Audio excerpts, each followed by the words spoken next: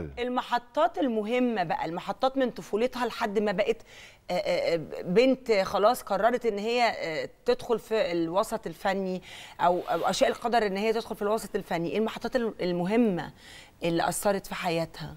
هو بص كل يعني مرحلة كانت بالنسبة لها مرحلة مهمة جدا واستفادت منها أقصى استفادة. مم. يعني سواء مرحلة الطفولة لما قدمت يوم سعيد وبعديه فيلم يعني بشوية رصاصة في القلب.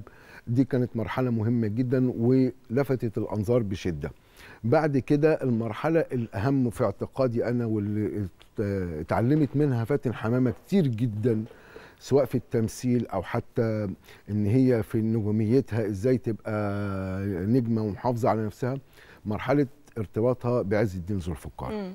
عز الدين ذو الفقار مخرج مش طبيعي ومش سهل وحد عنده فكر وحد عاشق لمهنته وعاشق لصناعة النجوم إن هو بيحب الممثل آه. ويعرف إزاي يطلع من الممثل ده أجمل ما فيه ويقدمه في أجمل صورة. وكان فال- زوجها كمان طبعا.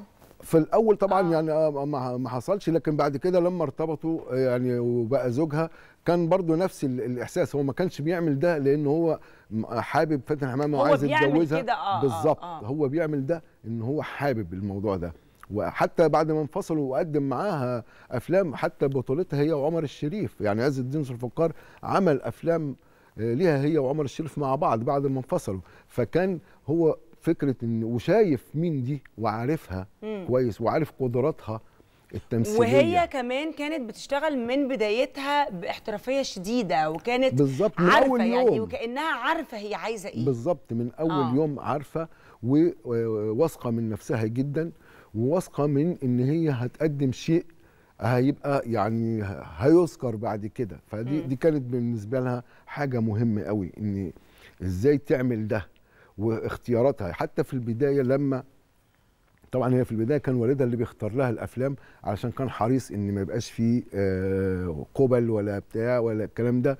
فهي بعد شوية اتمردت على ده مش علشان القبل هي فضلت فترة طويلة لحد صراع في الوادي مفيش قبلات في الأفلام خالص. لكن أنا أقصد إن هي عايزة تعمل آه، أدوار بجد آه. مش مجرد الأدوار اللي بيختارها لها والدها بس. فاتمردت في مرحلة من المراحل. حتى شفنا أفلام مثلا من نوعية اليتيمتين آه، بيومه فندي آه، أفلام آه، في المرحلة دي هي قدمتها علشان تتمرد على نوعية البنت الغلبانة المستكينة اللي هي بتقدمها. عايزة تعمل أشكال مختلفة من ال- ال- الحالات الإنسانية اللي هي ممكن تكون بتقابلها أو بتشوفها. جميل.